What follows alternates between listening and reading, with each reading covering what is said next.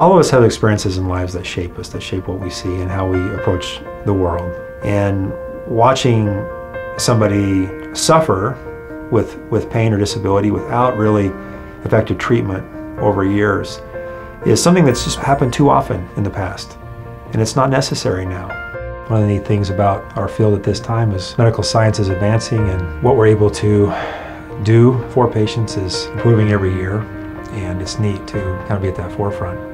The core of what we do is to understand what a patient is experiencing and feeling with regards to their medical condition or symptoms and, and really how it's impacting their life. And it impacts their life in a number of ways, not just from the suffering element at an individual level, but also the impact on relationships, marriages, friends. The impact is significant and heavy.